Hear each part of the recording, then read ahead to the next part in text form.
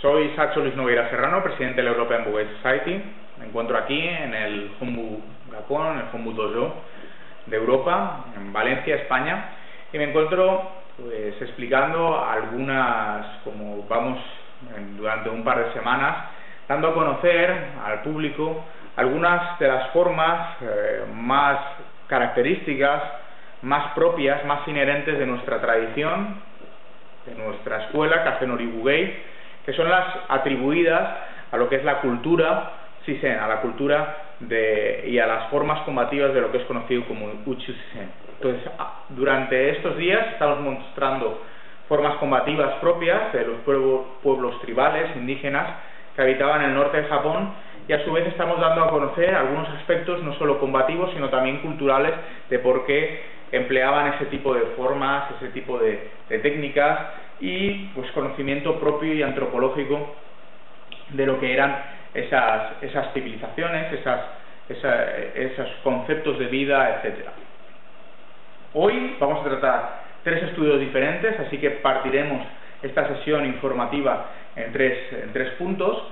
El primero de ellos, vamos a pasar directamente a continuación, es el empleo de una de las armas eh, propias de los Sisen que se llama de Nawa, o también llamado como Chikunawa.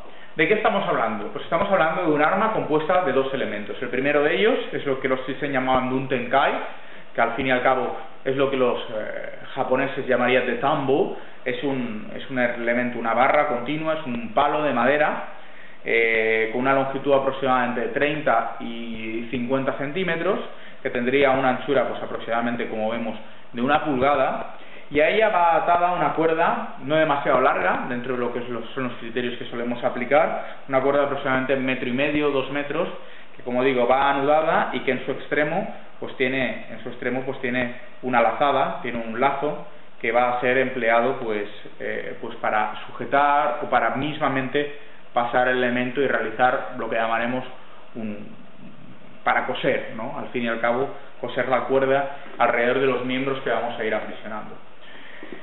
Esta arma es utilizada en, uno de, en una metodología, en un ZUE, como estamos, hemos ido estudiando, que es conocido como Teizen ZUE, aunque a veces también es entendida como una estrategia, entonces en ese caso se llamaría de Teizen Diap.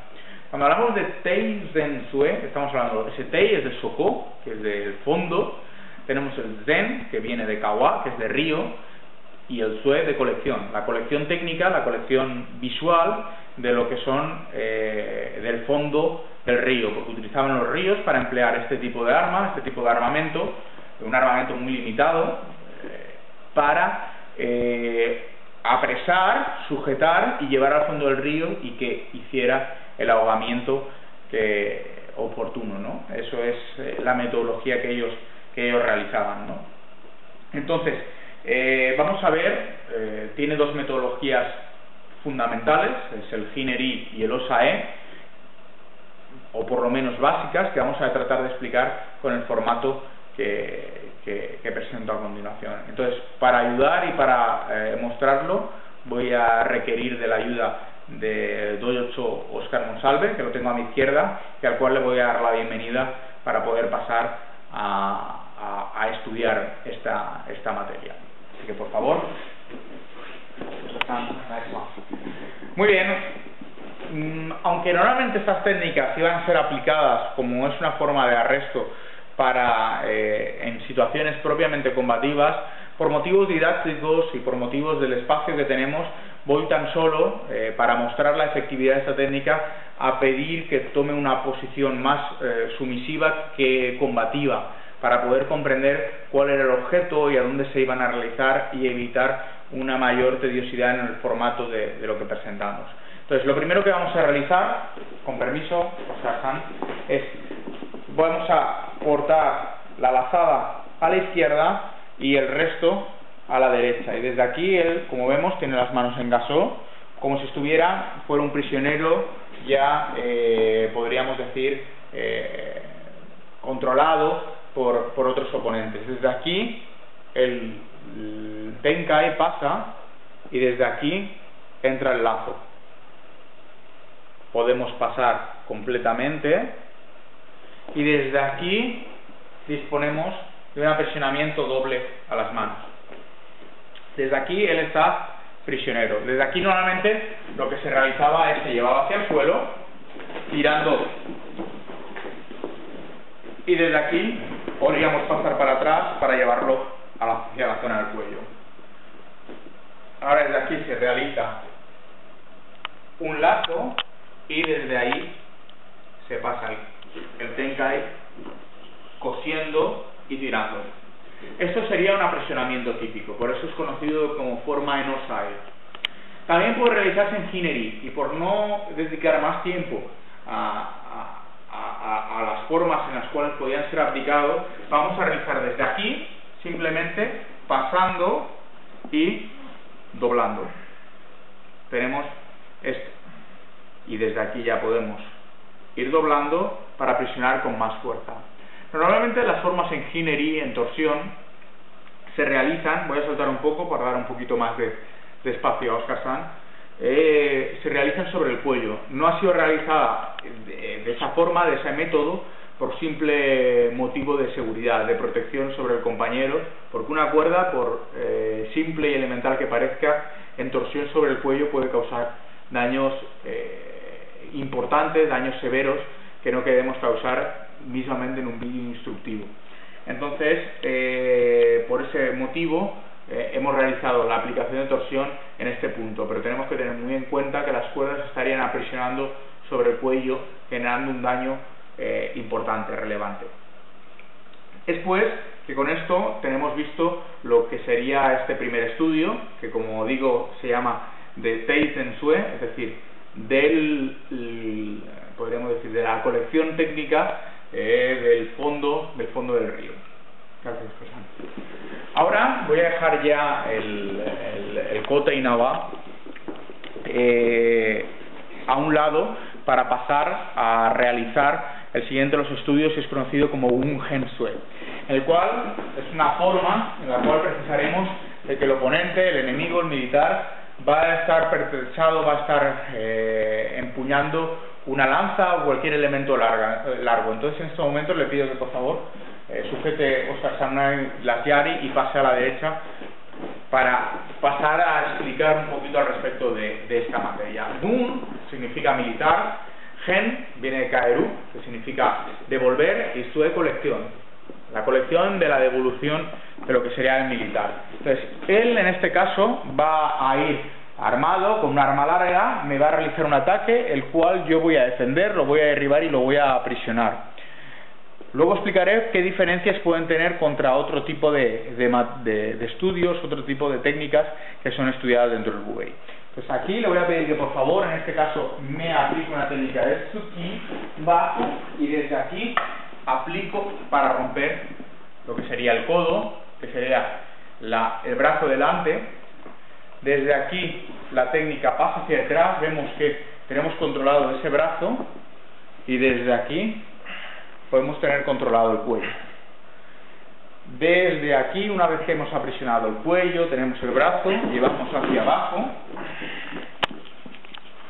deslizamos el, la yari hacia él y pasando la pierna controlamos sobre su otra pierna, teniendo esta estrangulación, este control que realizo con la rodilla. Hasta aquí un Sue. Sin embargo, no voy a finalizar la técnica eh, de esta forma, sino que voy a combinarla con otra, con lo que me va a permitir enlazar con la siguiente forma, que es el empleo del Koshinawa. El Koshinawa es una cuerda enrollada a través de lo que sería la cintura. Entonces, desde aquí la liberamos, pasaría al lado para controlar lo que sería el yari, pasaría por debajo y ya dispondría de este control aquí. Ahora pasaría por el cuello y podría volver a pasar por aquí para estrangular, teniendo este control que estrangularía su cuello aquí. Como digo, esto sería el Gun Hensue. ¿Qué diferencias tenemos? Mientras voy soltando, voy explicando. ¿Qué diferencias disponemos con respecto a otras formas, como puede ser los estudios del Yari Tori, es decir, de cuando nos atacan con la Yari y, y la sujetamos, qué diferencias podrían haber contra un Taiho, etcétera. Pues muy bien, Aquí el oponente lo que realiza es un ataque con la Yari, nosotros lo des, eh, digamos, eh, paramos ese ataque y con su misma Yari lo aprisionamos deteniéndolo y además de que son unas formas intrínsecamente Sisen de ser aplicadas como podría ser después un aprisionamiento propio con herramientas, con formas combatidas propiamente Sisen. Con esto damos por finalizado la segunda parte, la segunda sección de este vídeo y pasamos a realizar la tercera, en la cual, de una vez más, voy a colocarme el Koshinawa alrededor de lo que sería la cintura para pasar a estudiar lo que sería el Koshinawa Sue o como es más conocido como Yo Yo Sue. Ese primer Yo es de Koshi, como digo, cintura, ese segundo Yo es de Nawa y finalmente Sue colección, la colección de técnicas empleando el Koshinawa o la cuerda de cintura. La primera de las formas que vamos a realizar le voy a pedir a Oscar San que se coloque de cara a la cámara, ¿de acuerdo? Espaldas a mí, porque vamos a realizar una técnica de control. Desde aquí lo que voy a realizar es, voy a pasar por debajo hasta que cruzo. Y ahora desde aquí, a la vez que tiro, paso hacia atrás. Puede ser que quede bien en el cuello, controlando cuello y lo que sería espalda, o puede ser, dependiendo de cómo se realice el escape, si se realiza más hacia abajo, que lo que tenga es el control sobre los sumeros. Desde aquí se llevaría hacia el, hacia el suelo, tendríamos el control, podríamos pasar por el cuello, etcétera. Más formas de este sistema, de estas, de estas técnicas, las vamos a ver de la siguiente forma. Ahora le voy a pedir que ahora sí tome una actitud ofensiva y vamos a ver las formas eh, típicas, características de emplear el Koshinawa en la defensa. Ahora en esta situación lo que va a hacer es, me va a atacar de Tsuki, yo desde aquí defiendo, habiendo sacado el Koshinawa, paso por bajo y aquí por arriba. Cruzo por dentro y ahora realizo la proyección y ahora desde aquí salgo tiro juntando hasta que queda en las muñecas. Ahora ya podría pasar a otro punto y controlar otras zonas. Y esto sería lo que sería la forma específica del yo, yo, sue. Con esto hemos visto, y por hacer una recapitulación muy rápida, tres formas, tres estudios específicos El primero de ellos el empleo del Kote Nawa, en una metodología que se llama de Teisen Sue. Después hemos visto que consistía en el arma característica empleando un tambo. El segundo de ellos el Gun Gen Sue, es decir, las formas de cómo cuando nos ataca un militar impactamos y realizamos los controles. Y para acabar, el tercer estudio, el llamado de Yo Yo Sue, la forma utilizando el Koshinawa que hemos acabado. Agradezco la atención, como no podía ser de otra forma. Pido por favor que sigan siguiendo nuestros vídeos actualizados porque pronto sacaremos más informaciones que pueden ir poco a poco conociendo más sobre nuestra tradición y nuestra cultura. Una vez más, muchas gracias y deseo que tengan un buen feliz año.